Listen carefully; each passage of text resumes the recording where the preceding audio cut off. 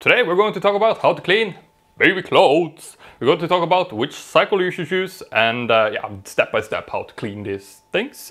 So first of all, if you have a cycle called baby cycle, that is going to be the ideal setting that you use. If you don't have it, don't worry, I'm going to show you how to imitate using this cycle. Uh, let me just explain the baby cycle first of all. So the baby cycle is Generally, a cycle that will use two hours or so to complete. It usually uses 30 to 40 degrees Celsius heat and that equates to about 85 to 100 degrees Fahrenheit. On top of this, this cycle also uses a lot of rinse cycles in it. That is to rinse out all the remaining detergent in the garments since babies have such sensitive skin. So combining all that, you will find a very long cycle and one that is going to both kill off a lot of bacteria and be very sensitive for the skin. So if you're hypoallergenic or problems with eczema or something like that, this cycle could be for you as well as your baby. Um, if you don't have this specific cycle on your washing machine, what you can do is imitate it by using just one of your other cycles. Picking one of your cycles on your washing machine, what you first want to do is add extra rinse if you have that available, if you don't, don't worry, it's okay. You can add, just rinse it afterwards, uh, the cycle is done. Next, we're going to adjust temperature here. Like I said, I like to go with 40, kills more bacteria than 30. Spin cycle, you can, it's really up to you. If you have delicate baby clothes, perhaps turn this one down a little bit. Let's do 1200. And here you can see this is going to last for 3 hours and 15 minutes. Uh, maybe a little bit long, so let's cut down a little bit on the cycle here to make it about two hours there. From here, your cycle will be perfect for washing baby clothes. This goes for all baby clothes and all things babies touch, right?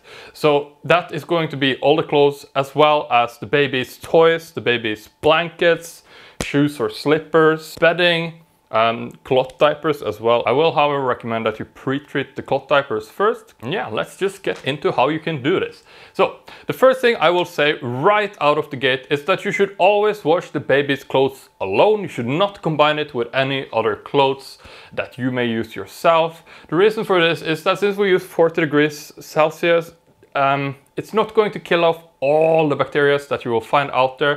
For example, if you work with something that needs to be sanitized, even 60 degrees Celsius, and you mix that in with your baby's clothes, it can cause uh, the bacteria to come over to the baby clothes and cause infections for your baby, which would be horrible. So always wash the baby's clothes alone. Next up, what we're going to do is that we're going to take all the baby clothes and we're now going to uh, kind of remove all the little um, dirt and uh, food particles uh, which probably have collected on the clothes. You can do that in a basin simply by washing them off or scrubbing them off into the trash slash basin.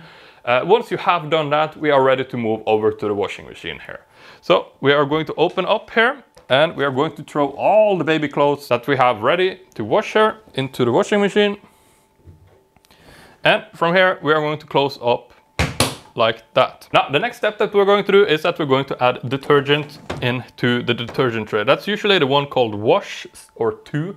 If you have a top loader, you can pour it directly into the top loader or into the tray on the top loader. It's usually on the side down there as well. You need to use a detergent that is gentle. Always avoid enzyme-based detergents. These are detergents that are very effective at removing stains, so it's going to be tempting to use them. Sadly, the baby's skins can't really handle it as it is so delicate. So avoid any enzyme-based detergent. Any strong detergent overall you should avoid. Nothing with scents, no scents. I usually recommend this detergent. That's the one that I use. It's like detergent sheets. It's very gentle, pretty powerful for being so gentle as well. Uh, I can add a link to this. If you want a discount, uh, I'm actually partnered with these guys. So you can add a 40% discount in the video description. Yeah, any detergent like uh, you have specifically made detergents for babies as well that you can buy in the store, but any um, gentle detergent is going to do just fine for this purposes. So we're going to load it into the wash tray here. We're going to skip over using fabric softener completely. It is for the same reasons that we're not using any strong smelling detergents. We're not going to use fabric softener either. Skip over it, don't use it. On, while we're on the matter, if you're going to dry them in the dryer afterwards, also skip over dryer sheets we don't want that on our baby's clothes. So once we have that ready, we're going to close up here and we are going to turn on the washing machine with our clothes inside. And as you remember, we pre-made the stats here. and from here, it's as simple as pressing start. So once the baby's clothes are done washing, what we're going to do is that we're going to, right after they're done washing, we're going to take them out of the washing machine here. And we're either going to pop them into the dryer right away and start it, or we're going to hang them up to dry, line dry them, right? I've made videos on that in the past as well that I'm going to link here at the end of the video. So the reason that we're doing this is that if you leave the clothes inside the washing machine for a while after they're done washing, there is going to start building up bacteria and mold on the garments, which is everything we're trying to avoid here, right? So once the cycle is done, get them out of there and get started on the drying process. Usually if you're going to line dry them, uh, you need a little bit of circulation or heat around the garments. I'm to add a video here that you can check out if you want to see how to line dry clothes. Also, uh, I've made a video on how to fold all your baby clothes in the file folding manner, which is the best way to organize and fold clothes quickly. So check that out as well right here. And yeah, hope this was helpful and I'll see you in the next one.